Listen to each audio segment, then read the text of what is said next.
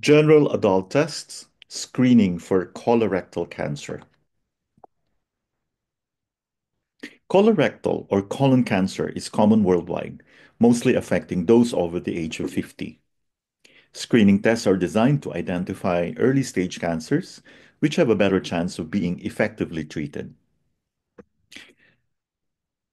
Specimen tubes sit in a machine that automatically carries out fecal immunochemical tests, or the FIT.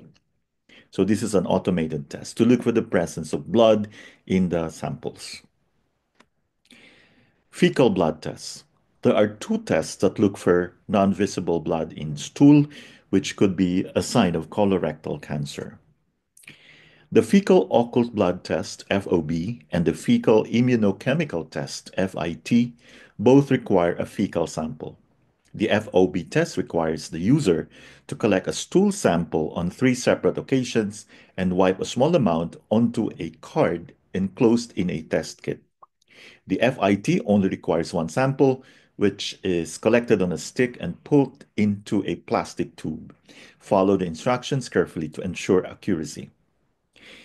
The results may be normal, no blood noted in the stool, which will require no immediate action, unclear, which would require a repeat test, or abnormal, blood found in sample. An abnormal result may or may not be caused by colorectal cancer. In this case, you would be asked to have a colonoscopy so that the lining of the colon can be viewed. Colorectal screening uses a technique called colonoscopy. A thin, flexible tube with a camera is inserted into the colon through the rectum to identify and remove polyps that could turn into cancer over time. The test takes place in a hospital or clinic. Information about the test and an enema or strong laxative to clear the bowels are given to you several days beforehand. You may be advised on dietary changes to make prior to the test, and you will need to use the laxative the day before the test to enable the bowel to be as clear as possible.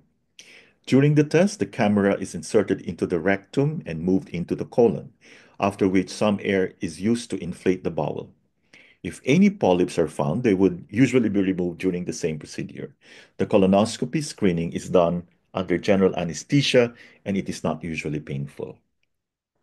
Any polyps removed are sent to a laboratory for testing you will be told that polyps have been sent for analysis on the day of the procedure. If a polyp is found to contain cancerous cells, you would be sent to a cancer specialist for treatment. If the polyp is found to be non-cancerous, you will be advised to repeat the colonoscopy in three to five years. During a colonoscopy, the entire colon, also known as the large intestine, is examined. During the test, a patient lies on their left side and uh, flexible scope is guided through the rectum into the colon. An anesthesiologist will also be present to administer general anesthesia and monitor your vital signs. Thank you for your attention.